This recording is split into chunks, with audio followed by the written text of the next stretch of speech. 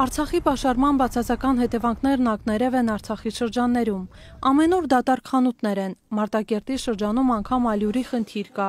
Շրջկենտրոնում գործող հացի արտադրամասերից այսօր աշխատում է ընդամենը երկուսը։ Հիմնականում ալյուրի խնդիրն է։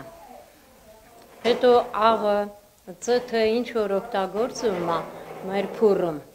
Մեծ դժվարությամբ ենք ձեռք բերում։ Վերջին երկու շաբաթը ժողովրդի վիճակը շատ ծանր է։ Հերթեր են գոյանում։ Նույնիսկ ցուցակ ենք անում, ժողովրդին մեկական, երկուական հաց ենք բաժանում։ Կան ընտանիքներ, բազմազավակ ընտանիքներ, որ այդ երկու հացը չի հերիքում, բայց դա մեր մեղքը չի, խնդրում ենք այդ ժողովրդին խղճացեք։ Հացի արտադրամասերի ու խանութների դիմաց հերթերը օր-օրի միայն երկարում են։ Մարդիկ վաղ առավոտից գրանցվում, սպասում են իրենց հերթին, որ կարողանան գոնե օրվա հացի խնդիրը լուծել։ Հակառակ սուղ պայմաններին, հովհարային անջատումներին ու շոկ եղանակին հացի արտադրամացի աշխատակիցներն աշխատում են 24 ժամյա ռեժիմով, փորձելով ինչ որ կերպ մեղմել համակարգացիների հոգսերը։ Եթե այլ ուրնի, մենք կաշխատենք, սագնը կբավարանենք։ Շատ դժվարության ենք մենք հասնում, այլ այստեղ հասնում երեխաները գրկած, մանուկո, կալած կան վերցրած, եկած դեր կանգնում է։ Մեր բերանը հացներ տալիս ենք։ Հղի կնանիք կանգնած, հա, խե։ Տիկին Արլետան հրետորական հարց է տալիս, ինչու հայտնվեցինք նման իրավիճակում։ 65 տարին բոլորած տիկինը նման իրավիճակ չի հիշում։ Նույն պատկերն է նաև շրջանի գյուղական բնակավայրերում։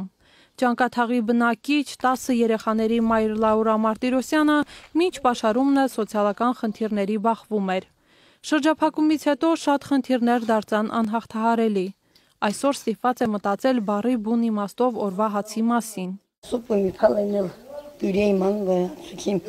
հացպի մանցորնետ օդինլի Չևան տեսնանք ես բլոկադանի բապրծում։ Երեք 4-ը երիմ գալել։ Երեք չէ շատ էլ տամ չես մա ինես տանվեր